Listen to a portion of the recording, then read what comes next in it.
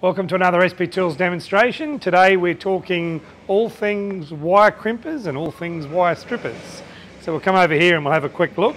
We've got our basic range out on the table today and we'll walk through obviously the process because you know we don't, we don't uh, crimp a wire until we've stripped it and prepared it. So we've got the, the basic range of SP product out.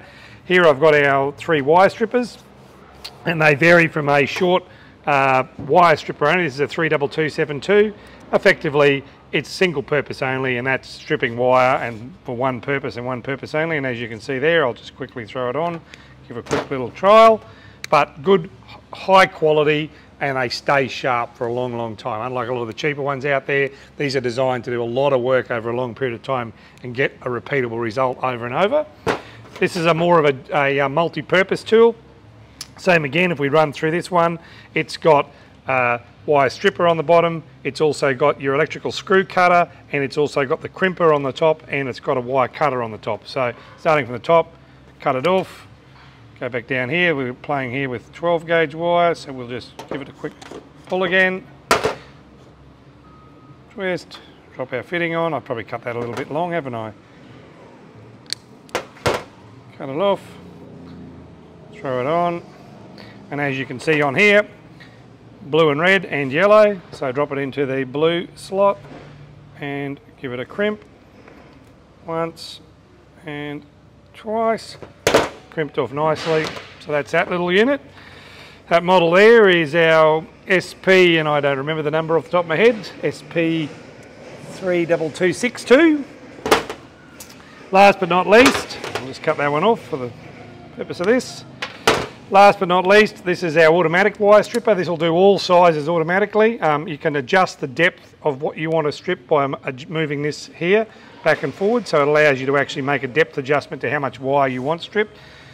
So I'll just drop it on there. As you can see, that's where it stops on the thing. Quick pull, automatic strip. Again, put it on. This isn't a crimper though. So now we'll move over here to our automatic crimpers. So these two sort of are like a pigeon pair, they work together. Um, again, we'll put our crimp on, our thing on, put him on. These are an automatic set, meaning that they are automatically set. Now they have a fine adjustment here. You can actually make a very fine adjustment if you want to make a small adjustment to the amount of crimp you get. Onto the thing, wire down, and they ratchet out when they're done. And there's our crimped result and finished.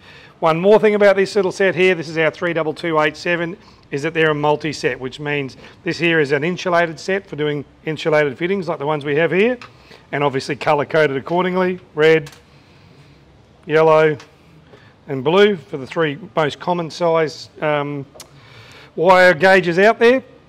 But if you want to change them to say the non-insulated or our spark plug set, you can simply pull those out, drop in the other set that you're going to go and work with, click them in, and now we have the other set ready to go and same operation. Very simple. That's our four basic sets. Oh, this set here obviously comes in this nice little pouch, storage pouch. Drop it over, put your jaws away in the drawer, in, sorry, in the drawer, in the pouch. Oop, in the pouch, like such. And it is good to go. Simple as that. So that's our nice little set for the day. Thank you for coming. Thanks for attending another session.